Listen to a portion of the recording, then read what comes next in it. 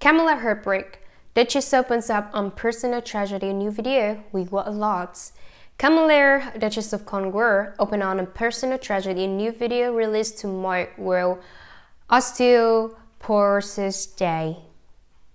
Camilla recalled the terror pain her mother, Rosalind Strachan, suffered before dying from the fragile bone disease.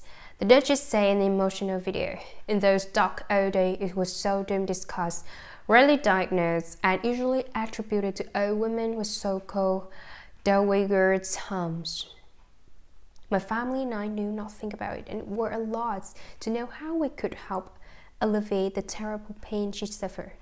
Addressing osteoporosis as a silent disease, Camilla commended the progress made by scientists and researchers who today can help those who suffer from it much better ways than in the 1990s when her mother died.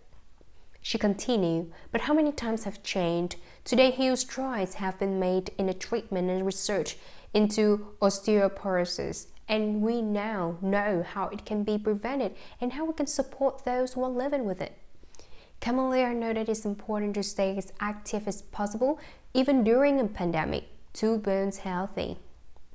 She said, We know it is vital to eat the right food, to take regular and weight bearing exercise, and, so importantly, to educate young people as to how to look after the bone health for those living with osteoporosis. There is now, thankfully, a wide range of treatment available to slow bone loss and increase bone mass. We're lucky to have brilliant charities all over the world offering practical and emotional help. The Duchess has been the brand president of the Royal Osteoporosis Society for decades. In 1997, she became its patron as Camilla Parker Bowles. In 2001, four years before marrying Prince Charles and officially joined the royal family, she became the organization's president.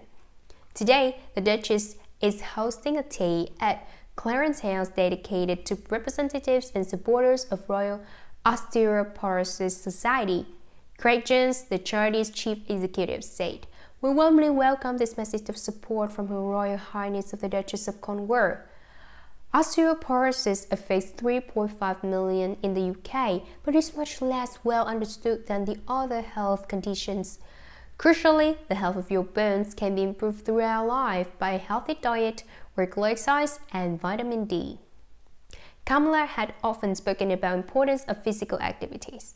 At the height of lockdown, when she was staying Prince Charles at the Scottish home in Birkhall, the Duchess confessed she was following online dancing classes.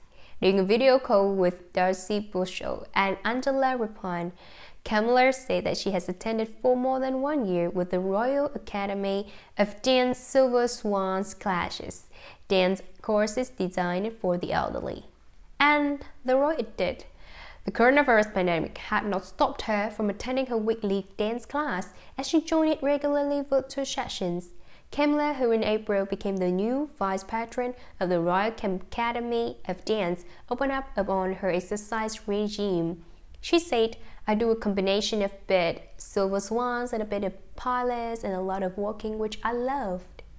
We've all got to keep active. If we don't, we will seize up and won't be able to get out bed in the morning. Choking out for dancing skills, the Duchess added. I'm very, very much of a beginner and probably will always remain a beginner, but I do feel after a year or 18 months of doing that, maybe I've improved a tiny bit. But I'm certainly not going to be taking to the stage. I shall keep it on my own home very privately.